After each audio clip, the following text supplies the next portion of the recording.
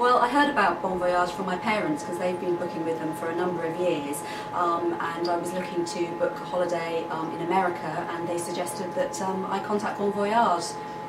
Well, I booked with Bon Voyage because they are extremely professional, um, they are experts in their field and I simply don't have the time or, or, the ability, in fact, to research my own holidays. So I go to them and they all package it up for me and they tailor make it for my requirements.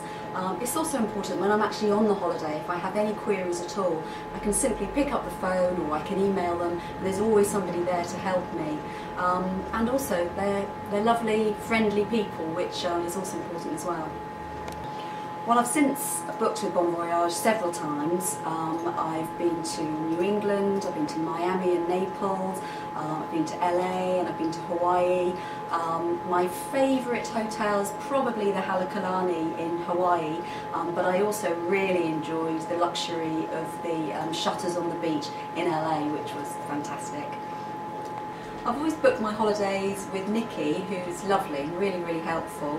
Um, and she's even done things like recommended restaurants we can go to and places to go for day trips and come up with some really unusual ideas which we wouldn't have known about otherwise.